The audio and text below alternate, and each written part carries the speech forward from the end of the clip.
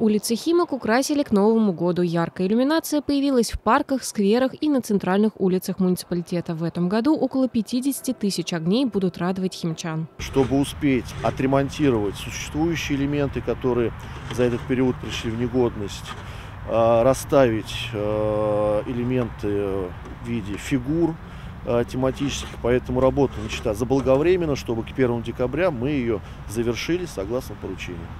Кроме того, на улицах округа появится около 350 световых панно. Традиционно праздничная иллюминация будет установлена в парках муниципалитета.